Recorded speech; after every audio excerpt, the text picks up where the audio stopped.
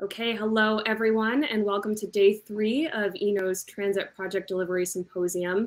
My name is Brianne Eby. I am a senior policy analyst here at ENO and one of the co-authors of our report.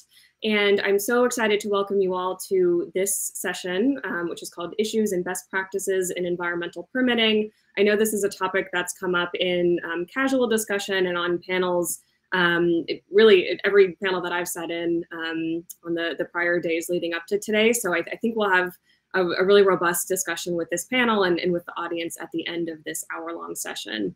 Um, just so you know, after uh, today's session, there is an optional networking room that will be available via Zoom. Hopefully some of you have attended those and, and gotten something out of that experience so far. Just a really casual um, way for you all to interact with the panelists, um, the ENO staff, and, and other attendees of, of this conference. So feel free to attend that right after today's session. All of the sessions will be recorded and posted, so you can go back and access the sessions that you were unable to attend, particularly for the other concurrent sessions that are happening um, simultaneous to this one. And you can also access all of the sessions on the agenda tab on the left of your screen on, on Socio. So if you want to um, attend any others as well, you can go there. After we end this session, you'll be prompted to rate it and to evaluate the panel. And just a reminder, your feedback is so valuable, valuable to us, so please take the time to offer some comments and rate each of these sessions. Um, should be a pretty quick process. And um, just one final reminder, at any point during the discussion, you can enter questions into the chat. So we will have about 15 minutes or so for audience Q&A at the end of this discussion, but you can answer or um, uh, pose any questions at any point and, and we'll bring those into the discussion at the end. So with that, uh, we have a, a, a, large panel today, so I want to get right into introducing folks. Um, so I'll start with Christy Goldfuss, the Senior Vice President of Energy and Environment Policy at the Center for American Progress. Christy's also the former Managing Director of the White House Council on Environmental Quality. Next, we have Felicia James, the Associate Administrator for Planning and Environment at the Federal Transit Administration. She's followed by Ethan Elkind, the Director of Clim the Climate Program at the Center for Law, Energy, and the Environment at the University of California, Berkeley. He's followed by Amanda Baxter, the Vice President of Operations in North America for Transurban. And finally, we have Paul May, the Executive Vice President of Project Implementation for the York Region Rapid Transit Corporation. So I'm going to um, start by having each of these folks um, introduce themselves in, in uh, about a minute or so. Just what you know, what is your history and experience with this topic of environmental permitting? Um, so let's start with Christy, and we'll, we'll go in order. I'll, I'll introduce each of you again, but Christy, let's kick it off with you.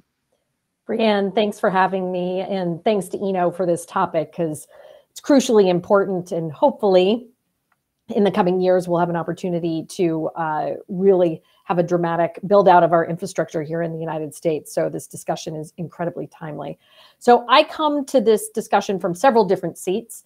I worked at the National Park Service as the deputy director for a period of time during the Obama administration, where I kind of had this firsthand experience on uh, how agencies inside the federal government can stymie projects. And when there is disagreement between two agencies and not a real drive from the top out of the secretary's office or out of the White House to resolve those differences, they just sit on people's desk for months and months and months. And there needs to be a motivation inside the government to actually unstick those. Then I went to the Council on Environmental Quality, which is, of course, responsible for implementing the National Environmental Policy Act. So we did a lot of community engagement and a lot of work around how climate works as part of NEPA. But I was also there for the creation of the Federal Permitting Steering Committee, uh, which was implemented through FAST 41, a law that really tried to get at what are the government's issues around federal permitting and in the establishment of the Federal Permitting Council and a dashboard that really is just a tool to see where the hangups are in the federal government, it just became obvious that across the board, pretty much no matter what agency you're talking about, we're looking at antiquated tools, we're looking at a whole host of other issues that really make project delivery times difficult. So this is not really a political issue because every single administration tries to tackle it. And I know we'll get into challenges later, but uh, thank you again for having me. Excellent, thank you. Uh, next we'll move on to Associate Administrator James. Um, yes, well, thank you. Um, and I'd like to thank the Eno Center for Transportation for taking on this effort of analyzing trends in public transit project delivery. This is a topic that is comprehensive in its in its number of stakeholders as well as in its variables that impact it. Um, I, will just share. Um, I come from from this topic uh, with the experience starting at the State Highway Administration in Maryland, uh, where I got my taste of environment and leading projects through project delivery, um, and as well as engaging in the tra- early in the transportation planning process. Um, I spent also spent the last uh, five years prior to joining FTA with the Federal Highway Administration, specifically working in the and on the federal side of things in doing implementing regulation and guidance development at the national level. Um, so I do bring to the table not only just the direct project experience, but also um, the federal experience as well. And here in my role currently as AA uh, within FTA, I oversee not just the environmental review process uh, and what we push out from a national perspective in, in public transit, but also how it ties into transportation planning, um, and, and, then leading into a project delivery through our capital investment grant program. So I get to really see the life um, of a project as it it ebbs and flows through the various stages want, uh, to make it to construction. So thank you. Excellent. Um, I think we have Ethan next. All right, hi, and uh, thank you, Brianne, and everyone at Eno for organizing this. It's been a great conference so far, and I'm looking forward to hearing more on uh, on this particular topic. And uh, in terms of um, my background on environmental permitting, so most of my work has been focused on California and the California Environmental Quality Act. Uh, it started with some research I did actually in law school, looking at the impact of uh, CEQA, California Environmental Quality Act exemptions on uh, affordable housing uh, and really trying to tease out what some of the uh, you know, quantifiable impacts were of, of CEQA on housing production. Later, I wrote a book on the history of LA's metro rail system, and uh, environmental review definitely came into play as that system rolled out starting in the 1980s. And more recently, we've done some uh, case study work at uh, the Center for Law, Energy, and the Environment at UC Berkeley Law, where I direct the climate program. Uh, we've been focusing on uh, transit case studies, looking again at how environmental permitting has affected some recent rail projects in California, including high speed rail. Uh, we're also doing some work to help the state implement its transition on transportation impacts analysis to vehicle miles traveled. So no longer is uh, California under the California Environmental Quality Act measuring impacts on transportation by how much it's delaying automobile traffic and more about reducing vehicle miles traveled overall. So I could talk more about that as we uh, launch into the panel. Thanks. Excellent. Amanda? Uh, thank you again, and, and really happy to be um, a part of this panel and just everyone participating on this panel. Um, I'm currently um, working um, at Transurban, leading the operations for North America. However, my intersection with NEPA started back in the 90s um, outside of transportation, where I was part of the big wireless boom. Uh, working on getting the federal communications NEPA regulations in place, which allowed me to work very closely with the CEQ at the time. And then in the early 2000s, I found myself uh, working at the Virginia Department of Transportation as a NEPA specialist and, and transferring that uh, expertise into transportation. Uh, following that, I became a consultant for the balance of probably a decade or so, uh, where I had the opportunity to not only work on uh, DOT surface transportation, but also I did a lot of work in Maryland, working on the Purple Line and other transit projects, leading NEPA efforts, only to be invited back to the Virginia Department of Transportation again to work for them, implementing a toll road that many of you all might know, the 66 inside the Beltway, that has a large transit component where it's operated by the state and all the money goes to fund transit along that corridor during rush hour. And now here at Transurban, as I lead operations, I have the intersection of the P3 world of where we operate um, and maintain the roadway. We provide financing through our concessions back to government to allow for transit funding along our corridors and monitor that success. So I'm really happy to be a part of this panel today. Excellent. And finally, Paul, I'll have you uh, introduce yourself.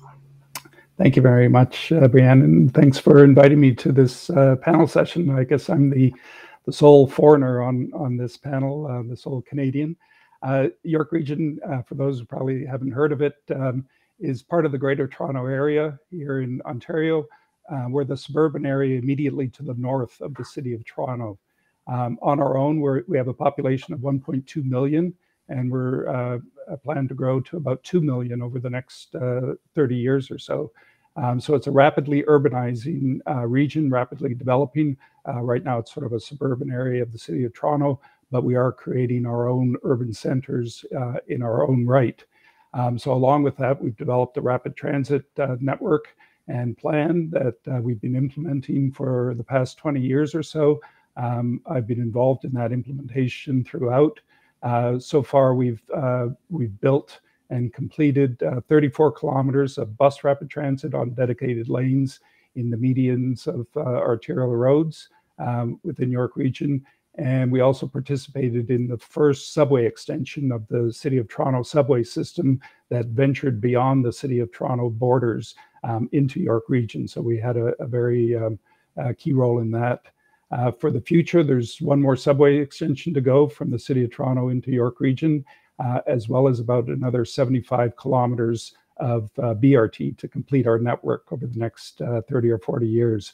Uh, so I've been very actively involved in the environmental process for all of those projects as a proponent um, through all steps of uh, their implementation. Okay, great. Thank you for those introductions. That'll hopefully help give folks a sense of, of where you all are coming from on this topic. Um, so I'd, I'd, like to go in that order again and allow you all to dig a little bit deeper into um, some of your, your really valuable experience. And um, so Christy, we'll start with you. I know you said um, you have firsthand experience on how agencies can stymie projects. Can you talk a little bit about the challenges as you see them with environmental permitting and, and the reform process, as well as some of the um, the promising uh, policies or proposals or, or strategies for dealing with some of those challenges? Absolutely. I think inconsistency is what we heard time and time again, even within agencies. So, whether you're going to the Bureau of Land Management or the Forest Service, getting very different interpretation of the same rules. And then even within an agency going to a different region and having a different office interpret the rules in a different way. So not not knowing what to expect. I think the challenge with the federal government to state the obvious for everyone here is it is a massive massive organization. And the project development and the commitment to actually getting these enormous projects done spans usually well beyond different administrations. And without any kind of transparency to see who's holding it up I mean, you know, for example, if you're when I was at the Park Service, there were issues around bighorn sheep and whether or not there was going to be the viability for the bighorn sheep to cross uh, the roadway that was being contemplated. And Park Service just didn't want to deal with it. So there was periods of time where it just was like nobody was forcing a solution uh, which was one of the reasons I became really an evangelist for the Federal Permitting Steering Council, because that is tied to the president, the executive director.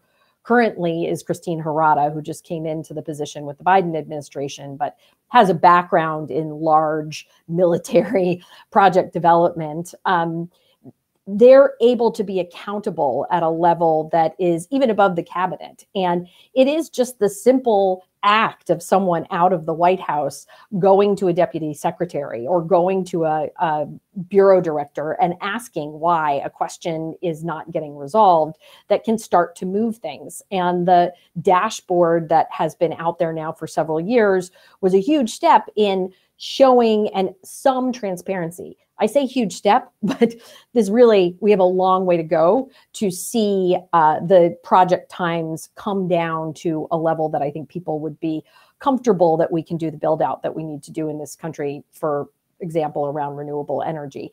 So i think we've started to put in place uh, some of those tools through the federal permitting council which really can push and has a high level participants from each of the agencies and can make sure that there is resolution, dispute resolution. Uh, but that has to be empowered and really driven out of the West Wing, I would say, in terms of really identifying which projects need to get done and on what time frame. So at a government level, that gives you some more um, insight into how to drive it down. Now, if there aren't people in the positions to get to do the work, you can't make them go faster. Nothing doesn't go faster. So one of the huge challenges we've seen over the past um, decade is a real uh, lack of personnel who are focused on environmental review, and that in general is always going to slow slow things down. So, given where the government is at this current moment, um, hopefully they'll be able to staff in positions and staff effectively to really kind of uh, address what will hopefully be a huge infrastructure bill that gets over the finish line in the in the near future. Excellent. Uh, let's move on to Administrator James. What about from the, the FTA's perspective? What do you see as some of the, the key challenges and um, the ways that, that you all think might be effective to address them? Well, um, I think, uh, you know, the report that you all uh, put together identified that complex issues constitute complex solutions, particularly for the type of projects we're talking about. And, and a lot of times it's not just from a from a transit industry perspective, but it may involve if it's a multimodal project, it may involve coordination with across modes within the department as well as other federal agencies throughout that process. But from our perspective, we do have several big issues that are currently impacting how we do business, um, how we will continue to do business going forward in this space. One of them is the CEQ rulemakings um, that are currently underway. As many, as many people who are who live and breathe the environmental review process and what's happening and in, and in the know here in the United States, the Council on Environmental Quality 2020 NEPA regulation and the upcoming phased rulemakings related to those updates um, do have an impact for on what from an FTA perspective we have joint uh, regulations with the Federal Highway Administration, and so with those impending changes that will come from that level uh, of um, regulation updates that then therefore will require FTA to work with Federal Highway to update Part 771 of our regulations that essentially set the stage for how we make process changes and improvements. Uh, particularly uh, because we we all know we've been streamlining accelerating advancing the environmental review process probably for for a long time. I know i when i entered into the space back in the early 2000s that was the that was the, the space we were in at that point in time. Um, and we continue to continue to do that. Um, the other thing i'll note is reauthorization. Um, as many folks know, we're in that space uh, within the country to, right now where we're awaiting reauthorization of the FAST Act um, or a, a, revised bill to come out. But this is something that, you know, within the federal government, within FTA, we are constantly paying attention to because this is a space that we traditionally are in every several years. Um, and, and within reauthorization, um, that then proposes also additional changes to our environmental statute authority, such as codifying elements of um, one federal decision that was was put out years uh, several years ago. Um, that's how uh, the the federal permitting dashboard that Christy mentioned. That's how that got stood up was through um, through reauthorization, and so that we will then have to take those things things into account as we move forward, um, as well as the implementation of new executive orders. Um, as many for the folks uh, here within the United States, you're probably aware of the number of executive orders that require a whole of government approach in the areas of climate, environmental justice, equity, and Justice 40. Uh, these topics span uh, across not just environmental reviews, but also the planning process and throughout the project of de- excuse me, the project delivery process of a project. Um, and it also impacts beyond, goes, a, makes an impact beyond a, across FTA's, all of FTA's programs. And so how do we incorporate that and then move forward in implement, implementing that? Um, we continue to await uh, CEQ's updated greenhouse gas guidance uh, and the changes that will come from that, as well as their, their uh, they are intending to also update their environmental justice executive order. Um, so those are some of the challenges that FTA is currently working through and continuing to face as we uh, look to um, continue to streamline and accelerate our program. Um, to the second half of your question on promising uh, policies and proposals or programs that may help with those challenges. One thing I will note is back in June, uh, FTA instituted our Sustainable Transit for Healthy Planet Climate Challenge. Um, this has enabled us to assist transit agencies with the development of their climate action plans through technical assistance opportunities that we weren't previously doing. Um, at this point in time, as of today, we have more than 100 transit agencies that have signed up for that challenge, and I think that will help in moving um, moving us in the space on the on um, to accelerate and advance in the climate uh, change greenhouse gas reduction space.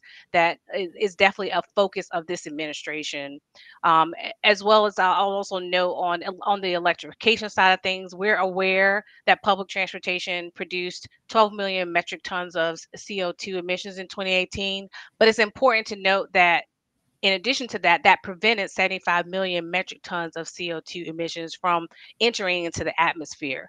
And so, with that, we are aware that electric- electrification of our fleet can positively strengthen these numbers even more as we continue to see uh, strides being made um, in, in converting our bus uh, and, uh, and other vehicles uh, into in that into that electric space.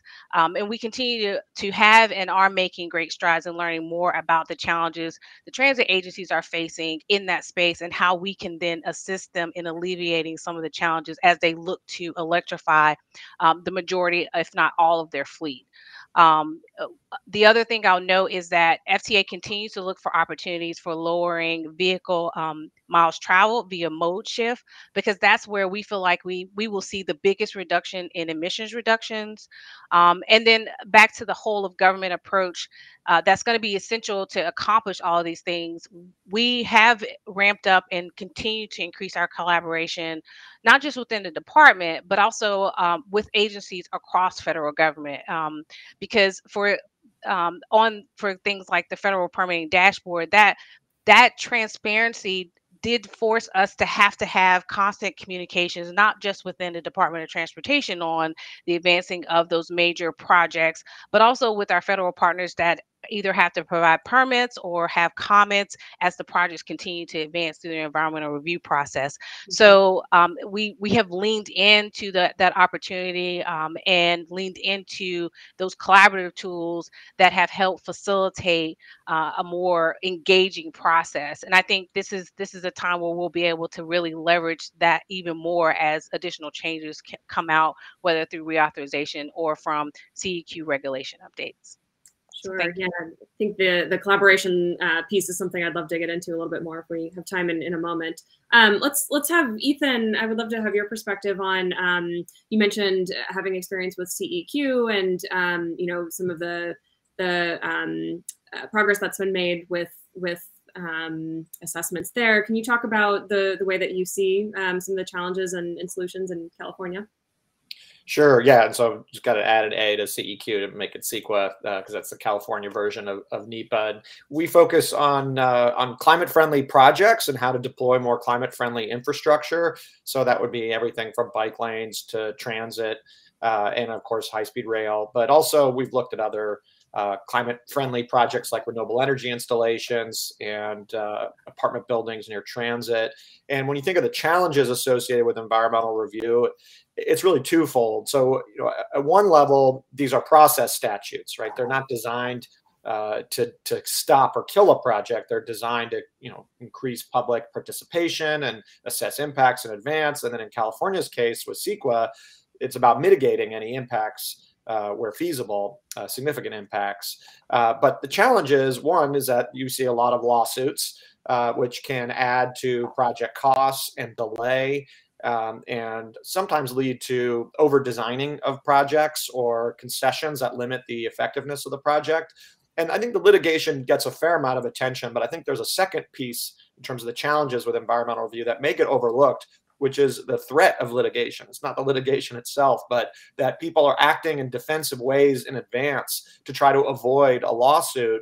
And you know, at one level, you might say, well, that's good. You know, if there's a lawsuit, then that means there's some deficiency. But too often, what you see is that the lawsuits are filed by very narrow interests that may not necessarily be about a better environmental outcome, but about trying to expose a deficiency in what can sometimes be a phone book sized environmental review document, or even more, multiple phone books in some cases.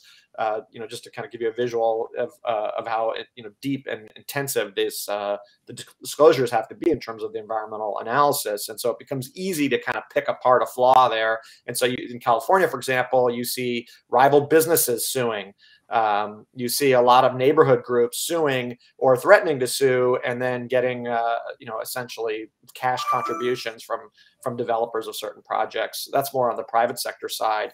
Um, but those are the big challenges. It's the defensive siting and, and defensive design and also the lawsuits themselves that can effectively kill some projects.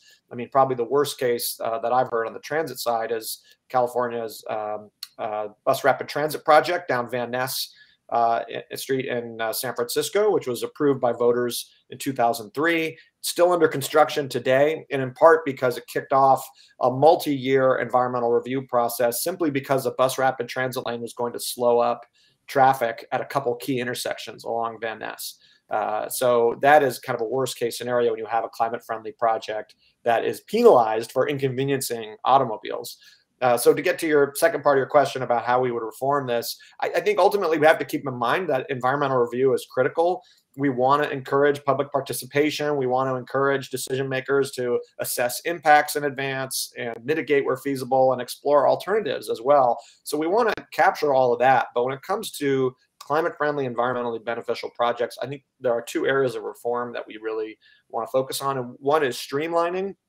So figuring out what are the impacts that we really you know should be looking at but when it's something like transit you know we know it's got a lot of environmental good baked into it. So let's focus on those areas of impacts where it really makes sense from a community uh, participant uh, participation standpoint or to you know better the project. So even with things like greenhouse gas emissions you know felicia just mentioned electrifying fleets. Maybe we can do ways or think about ways to mitigate uh, where the electricity might come from or how much electricity a, a, project might need. So even when you see what might sound at the surface like an incredibly environmentally beneficial project, there often are ways to mitigate if we do that analysis in advance. But we just don't want to let the perfect be the enemy of the good, and we don't want to drag these projects on. So the second piece of it, in addition to the streamlining, would be focusing on fast tracking the review in certain cases. And we have some good precedents for this and examples of these reforms in California. So that bus rapid transit example I gave, where it slowed down traffic and therefore had to do an environmental impact report, we've actually reformed that uh, analysis in California. We're now looking at vehicle miles traveled impacts instead of auto delay, as I mentioned. So that's a reform that I think is a is a good way to not only streamline analysis because projects that are in areas with already low vehicle miles traveled are essentially exempt now from that impact analysis but uh, it's also a way to reframe it to sort of modernize it. Because really, what we care about is not so much traffic at a particular intersection, we care about overall driving miles throughout a region. And then we have examples of fast tracking uh, environmental review. We had a, a law that passed um, about 10 years ago now called AB 900, since been extended. And for certain projects that are that meet critical environmental metrics, things like greenhouse gas emissions, vehicle miles traveled, et cetera, they qualify uh, with other some other criteria involved. They can qualify for fast-tracked judicial review of any lawsuit over the environmental review documentation, and so it's limited to a 270-day uh, litigation timeline and appellate court review. And that kind of thing can also, for certain really meritorious, high priority, climate friendly projects, can help uh, expedite the process. So I would say when it comes to environmental review, it's kind of an amend it, don't end it type approach. Uh, some projects we may want to completely exempt that are really no brainers, you know, maybe a bike lane kind of thing. We, have done that in California as well um, for certain projects for a certain amount of time, but also the streamlining and the fast track review. Okay, thanks, Ethan. And sorry to miss my misspoke earlier. It's kind of a tongue twister to have both CEQA and CEQ on kind of represented on the same panel here. Um, Amanda, I'll move on to you next. So as you mentioned, you've had um, you know years of experience um, at really different you know levels of government on different um, uh, modes of transportation and, and even outside of the context of transportation. What do you see as some of the key challenges and uh, potential promising reforms here? Uh, sure. You know, as a person who has sat in CEQ's offices, offices, but I've also stood over a, a hole listening to a bunch of wetland scientists argue about how much water was in it. I think I think everything in between I've experienced. Um, so you know where where to start. I think the first thing, um, and you know, just to describe to to those that, that might not be familiar with Transurban, you know, we are a, a, private entity that operates a public road on public permit that we've actually built and we financed and we maintain it. Um, so that's the seat I, I, sit in now, and it's a public-private partnership. So I just want to explain that more broadly. So from where I sit today, you know, a lot that um, from an environmental review perspective, our whole eh, role in this is about a risk transfer. So a lot of our projects go through, or all of our projects go through an extensive environmental review, NEPA, um, and then moving on to uh, uh, our our firm that has to actually construct and implement it, and that risk is transferred to us. So we really pick up the environmental decision and, and push it forward from there. Now, where I think things can be um, done better is really from the planning perspective of what actually should be implemented as an alternative. I think oftentimes in one of the particular projects we're working on now there's a whole variety of alternatives that people look at where they're actually trying to take a surface transportation solution and compare it to fixed rail um, in the same footprint and that's where i think things get tricky um, and and we need to do a better job even on on the um, on our side of things in a managed lane concept to kind of better underscore the power of our managed lanes, the power of the bus, the power of moving more people more effectively. Um, and and that world has not come together. So we usually come and we attack these projects as like the traditional, you know, idea planning, and then you sit in certain offices and and march them through this whole process. And then in the meantime, you know there's seven other different alternatives being thrown out there but where, where you're really you've got a footprint. Most of what we've done so far has been fairly urbanized. I have done projects you know up in you know oregon washington state that totally different animal where you know it's you have all the space in the world but here in the dc area it's very urbanized. And you know there's only so much you know room we have to do things anyway so we should be really focused on the footprint.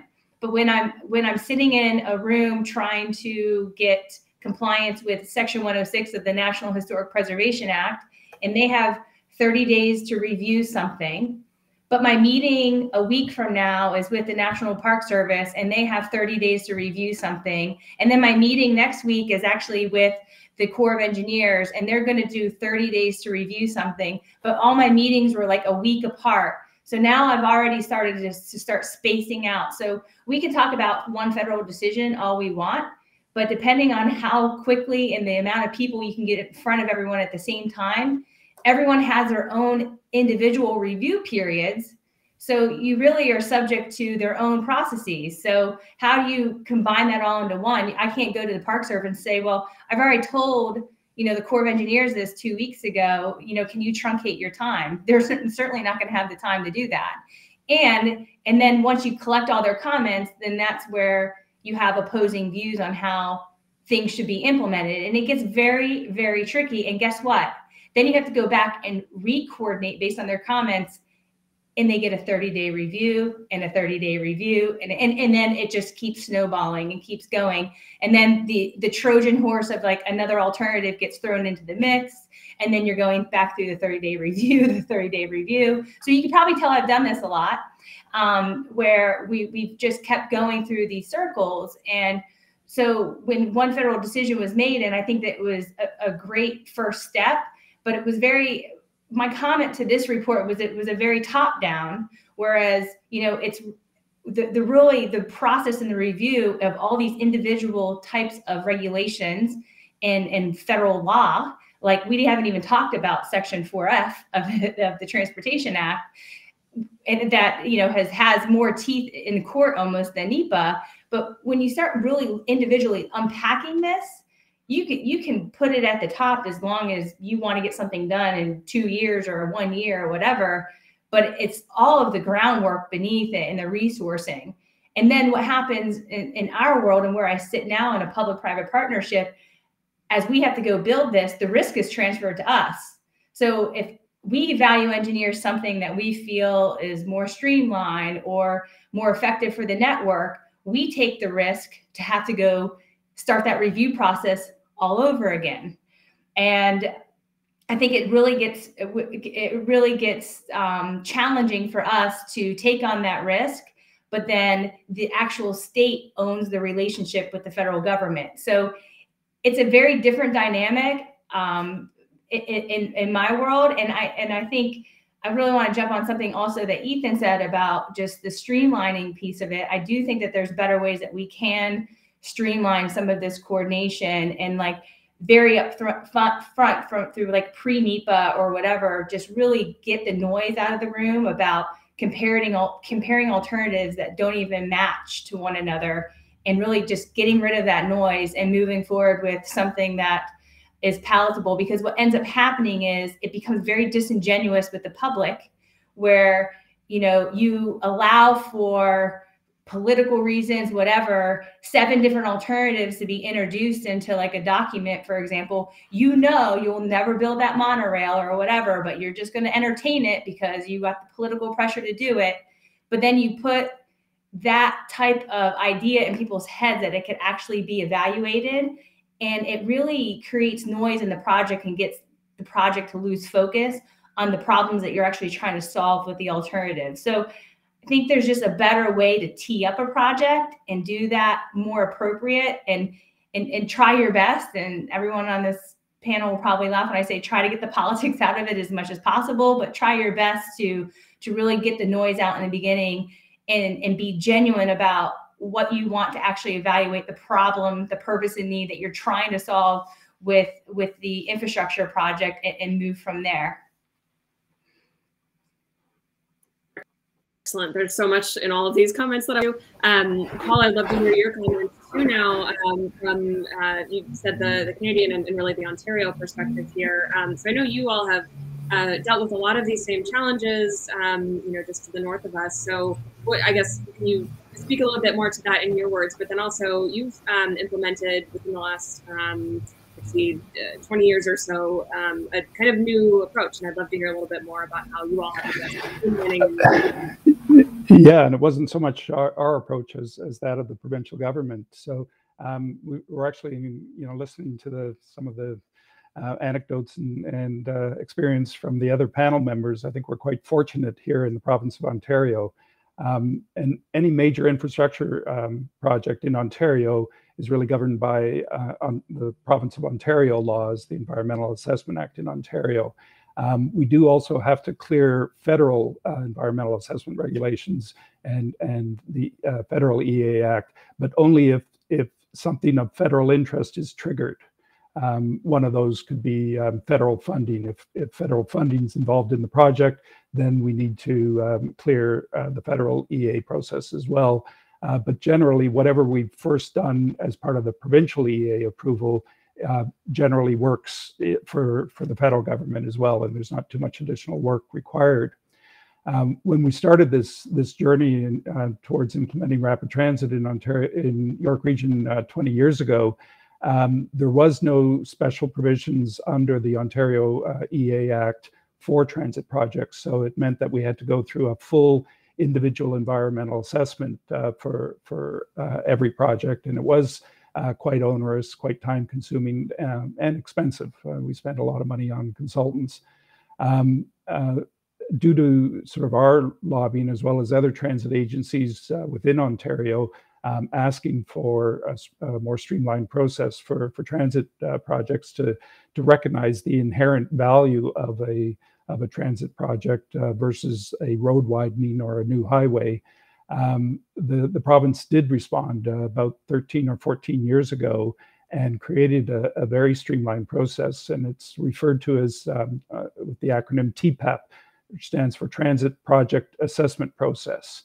Um, and I believe somebody was going to be able to, to put the, uh, the link if anybody's interested uh, into the chat box. Um, if it's not there, you can just um, you can just Google Ontario TPAP process and look for a, uh, for the government link under ontario.ca uh, that describes the whole process.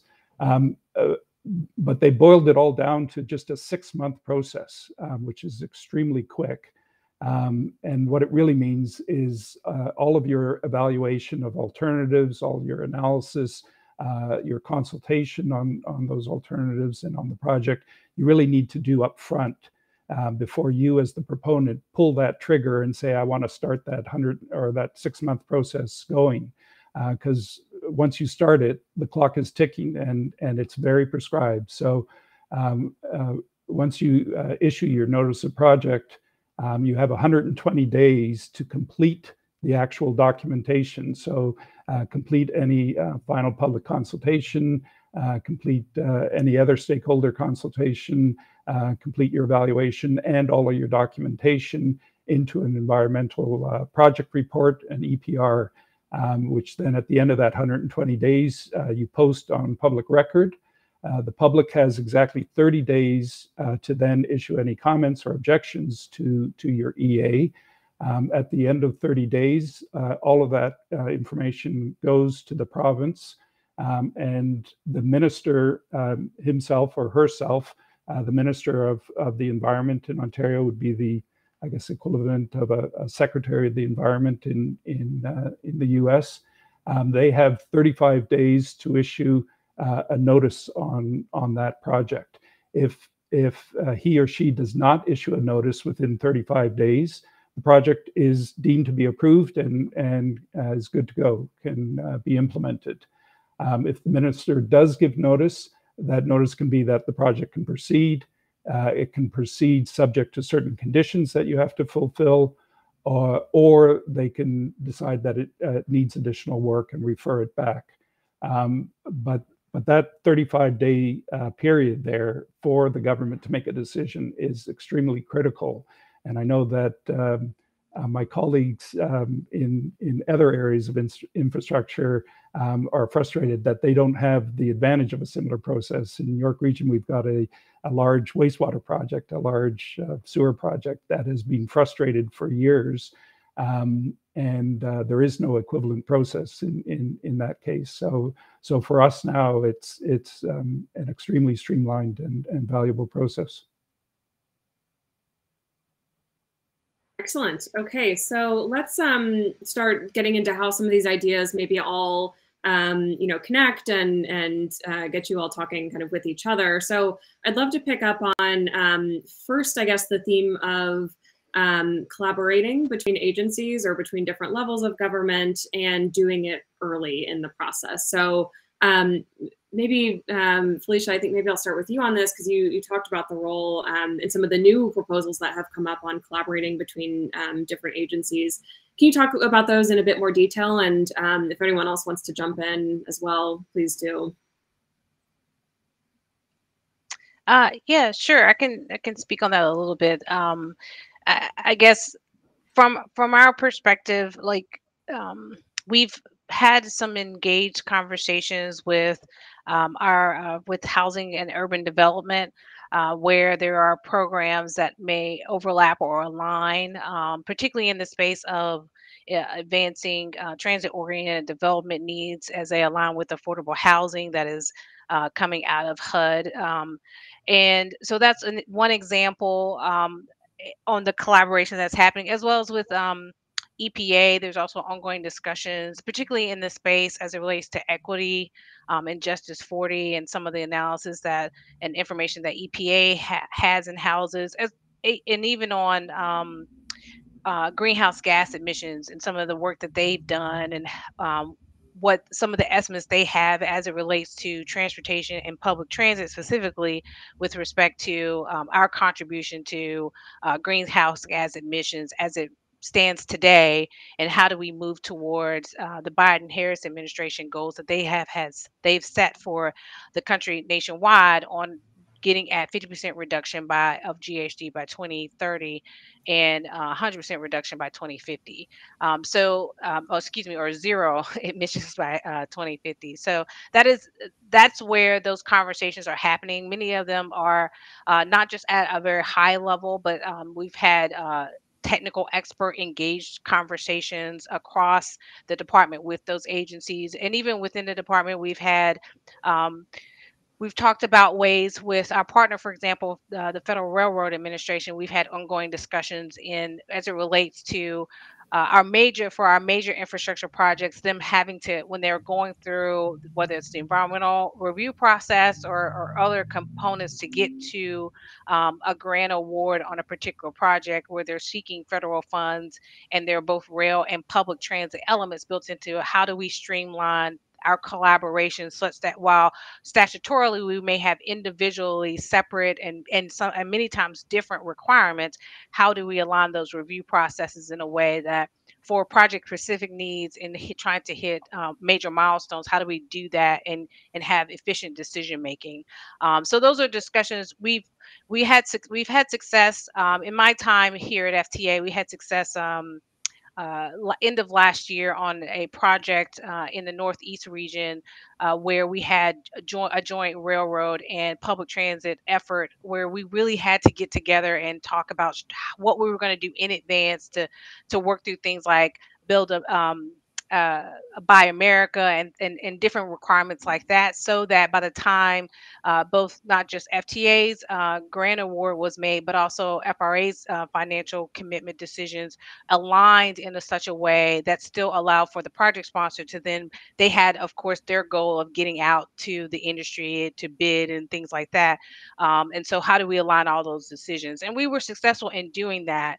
Uh, so we've leveraged that that experience um, at the headquarters level so that we can uh, ensure that that feeds into some of the other um, huge large projects we have coming down the pipeline. Um, one I, I will i do want to also on the collaboration piece touch on something that amanda mentioned um, because I, I i will there is we definitely see the value of early planning for upfront. And and i'll also just add that um, your the development of your purpose and need statement in the environmental documents that can make or break a project. We've all seen it we've all experienced it. Um, planning and environmental linkages is something that fta has been definitely trying to encourage transit agencies to do. We don't see it a lot. Um, it's not something that we pick up because it doesn't come natural to make some of some of the early decisions that can be made. It seems a little foreign when you're trying to you're like wait i'm not i haven't I haven't initiated the environmental review process, so why would I be eliminating some alternatives and doing high some high level documentation? But there there's opportunities there in that collaboration to leverage it that I know we've been pushing and promoting.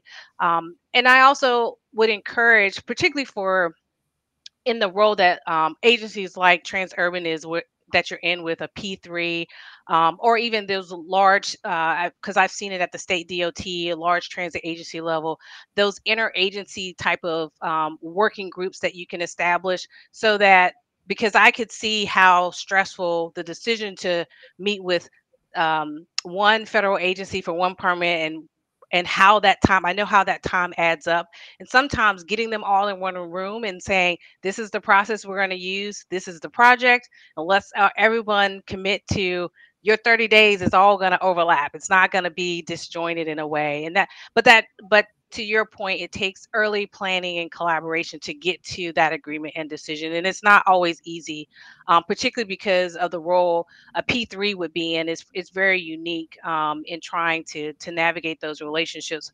Uh, but I, I do think that that collaboration can happen if if the, the relationships are established early such that the right partners are in agreement that no we see we don't want to repeat this bad mistake again because the, it does delay the project. It does, and delays just add cost.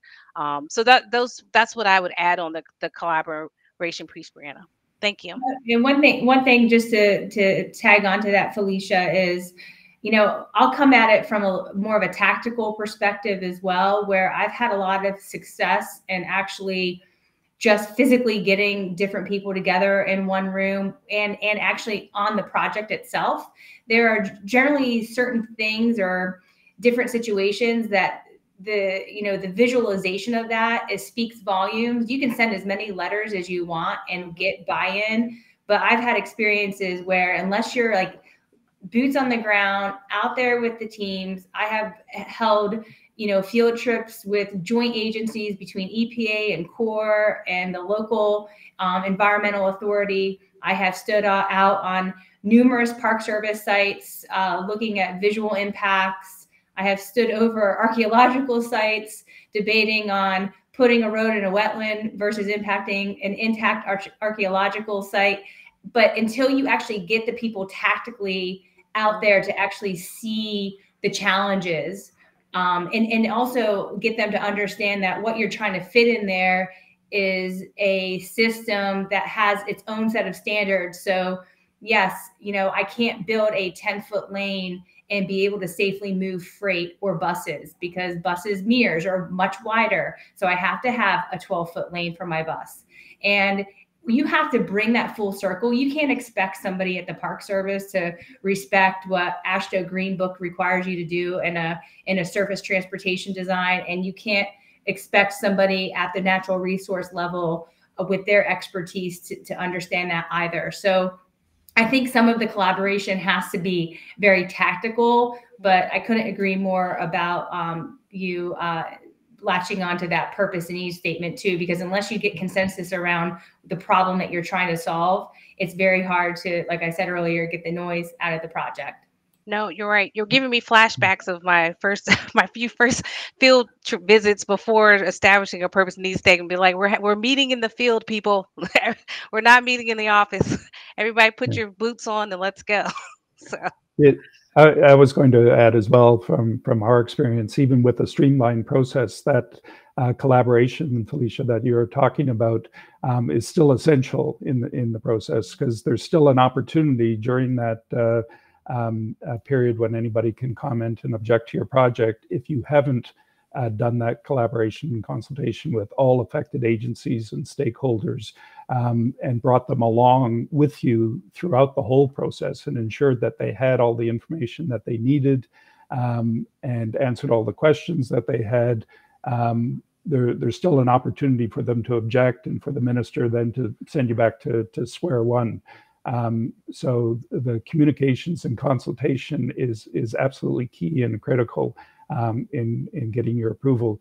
Um, as a proponent, it's it's often too easy to just blame you know senior levels of government that you know it's their fault, it's the province's fault, or it's the federal government's fault.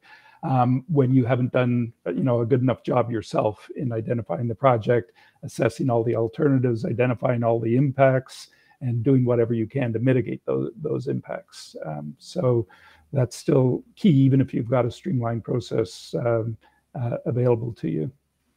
Can I just ask, Paul, I mean, how do you, how does a project proponent who maybe is not familiar with all these different entities that have to collaborate have the power really to bring them to the table to collaborate? Because to me, that's always the challenge. How do you, how do you on the hmm. outside bring the inside together mm-hmm. when it seems to me to be the primary job of the inside to coordinate itself. well, eh, yeah, here in Ontario, those those agencies can be um, um, somewhat uh, disaggregated. They're not all within the provincial government. Some of them are, and some of them sit outside of the provincial government. Um, so we have no power to bring them to the table. It's it's through uh, you know offering them a coffee or a free lunch uh, when we can meet in person or uh, it's it's uh, you know just through um, um, through goodwill uh, that we get that collaboration and and I think when they can see that you're genuine in listening to them, um, those uh, people, those agencies are more likely to to then come to the table if they generally feel that they they have a voice and they're being heard and their concerns are being listened to. Then uh, uh, versus another agency where um, or you know another proponent that may not be taking that approach and and trying to just decide on a project and defend it to them you know people pick up on that uh, pretty quickly that you're not really listening you're just trying to defend and get your project approved um, you're not really listening to what my concerns are right? if i could could i ask maybe ethan a question too because we talk about reform and one thing um, that is a continual challenge, even on the operation side of things, is this notion of how to calculate greenhouse gas emissions. and the fact that the idea that each individual state has a different kind of oversight of that, then there's the federal level, there's a few layers in there. Um, and oftentimes in the NEPA process, you're looking at it more qualitatively because of a regional air quality conformity but that's really not good anymore. That's good, not good enough anymore based on where we're shifting with climate change. So now there's this idea uh, or notion of wanting to understand how to calculate greenhouse gas. And I am finding, at least through practice, that not everyone is doing it the same. Um, so you said something about transferring to looking at VMT, and I just thought maybe I would ask you about that.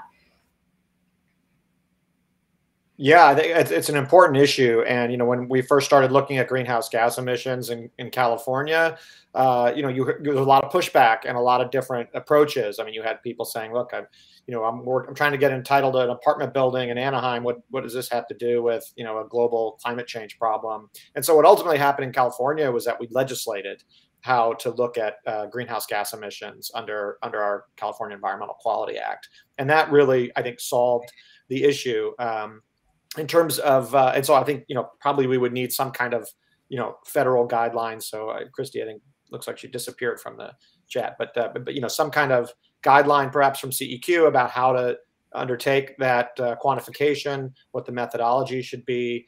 Um, you know, we probably would need a national standard similar to how we needed a statewide standard uh, in California to address it. Um, and then uh, in terms of the vehicle miles traveled approach, you know, it's done regionally uh, by each metropolitan uh, region, uh, metropolitan planning organizations, you know, throughout California that essentially do that work now to, to calculate where are there low VMT areas and where are there, you know, higher VMT areas. Areas that are higher in VMT, that's where it's presumed that, you know, that, that if a project comes in, it's going to have a significant impact on transportation, or at least there has to be a justification as to why it doesn't. Whereas in a lower VMT area, there's a presumption that uh, that a project would be exempt.